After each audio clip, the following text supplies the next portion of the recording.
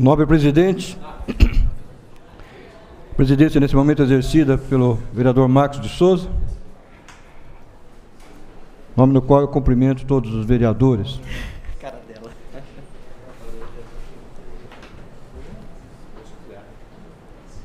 Sujou, não? O lixo começou a cheirar mal. De qualquer forma, é, alguns milhões a mais na conta da prefeitura. Seria precipitado falar em probidade, incompetência, mas que há necessidade de um esclarecimento maior do que houve na audiência pública, não há dúvida. E qual o modo em que vai se dar esse esclarecimento? A maioria dos vereadores decidirá, creio que ainda hoje. A prefeitura ela padece de alguns problemas crônicos de administração, de gestão. Para que as coisas fossem melhor realizadas, que houvesse uma maior agilidade na gestão, criaram-se empresas mistas, qual seja a Indurbe, a Coab. E o problema é que tanto a Indurbe quanto a Coab apresentam problemas.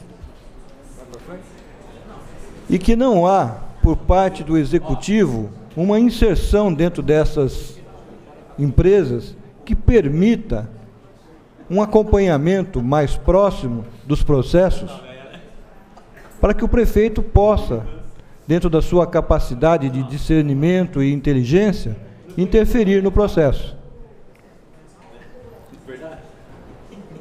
Culmina com o que acontece agora com a questão do lixo. Mas, como diz o ditado, desgraça pouco é bobagem.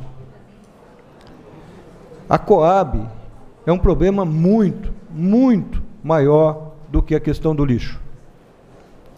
Que pode, inclusive, levar o município à inadimplência há necessidade de se esclarecer de vez a Coab. Este vereador fez solicitações nesse sentido, não obteve respostas ainda. Na quarta-feira, iremos até Brasília ouvir do STF o posicionamento preliminar em relação à demanda da cidade naquele, naquela instância.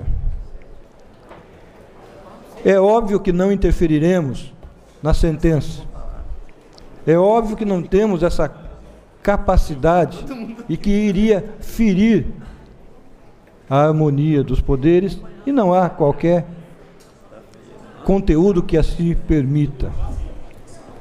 Mas o que nos preocupa é que a dívida da Coab, dependendo dos intercursos e da evolução jurídica, ela pode culminar com 5 bilhões de reais. Isso é muito mais do que o orçamento anual do município. E como vereador, ou como vereadores, todos temos a responsabilidade em saber exatamente o que se passa dentro desse processo. E há necessidade de esclarecimento. Isso para que haja saúde financeira da cidade, isso para que não sejamos novamente inadimplentes como fomos durante alguns anos em que qualquer investimento para a cidade era privado, era, era, era cerceado, porque devíamos ao Tesouro Nacional.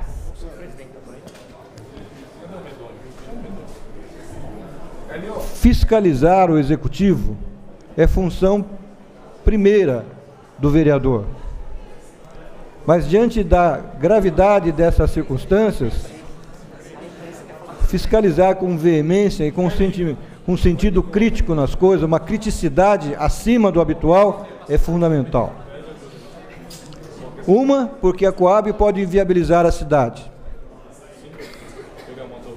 Erros administrativos, improbidade administrativa, conluios políticos que levaram a perdões de dívida de mutuários. Isso tudo é crime. Tudo isso deve ser levado à justiça para que saibamos exatamente como se compôs o débito da Coab. Não estou acusando ninguém. E também não me cabe julgar ninguém.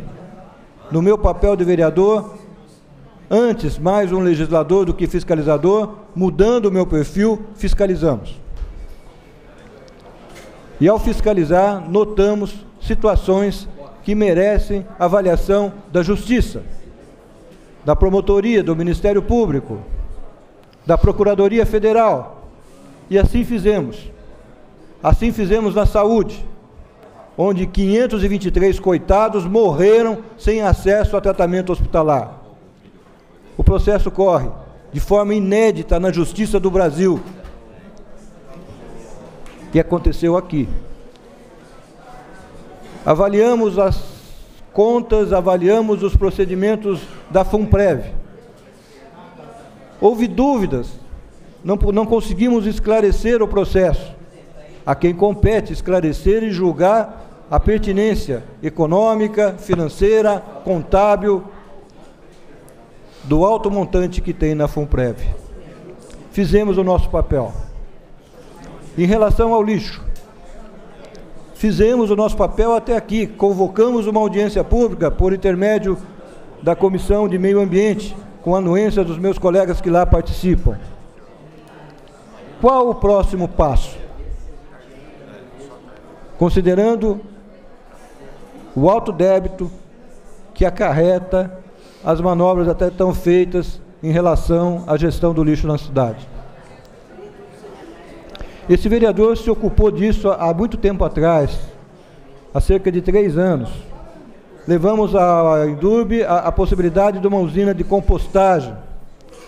Foi dito, e fato era, que o arcabouço legal não permitia que se pudesse investir com aquilo que se tinha mas poderia ser até criado alguma coisa, não insisti porque esperava por respostas do, eh, do executivo.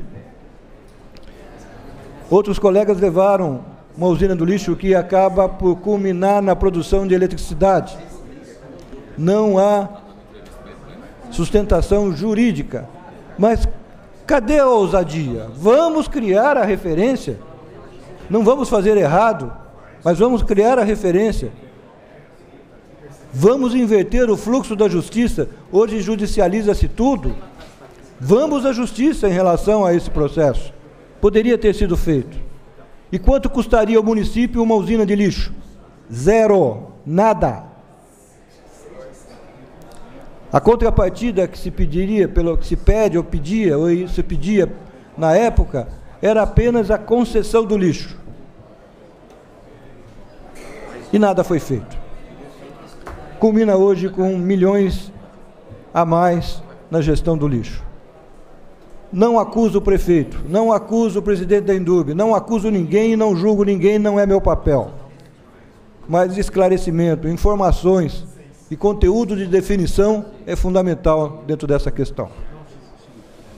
Para isso, instrumentos existem. Para isso, há necessidade de maioria dessa casa olhando e caminhando para o mesmo lugar há necessidade, se possível, de um consenso, que deverá ser criado ou não em função das demandas políticas de cada vereador. Esse vereador se debruça também há algum tempo em relação aos grandes devedores da cidade, que somam um montante considerável que poderia amenizar a suposta crise financeira. Foi solicitado informações aguardamos a atualização dos grandes devedores e vamos revelar à comunidade quem deve a essa cidade, quem deve pagar e não paga. E por que não paga? Recentemente houve uma falência na cidade e se percebeu que dentro desse processo de falência havia um débito muito grande em relação à prefeitura que não foi cobrado. Esmiuçaremos melhor essas condições para que não haja lesão, para que não haja fuga de capital em relação ao patrimônio público dessa cidade. E esse é o nosso papel e vamos cumpri-lo a contento, obedecendo tão somente a nossa consciência e os ditames legais de cada situação. Obrigado, senhor presidente.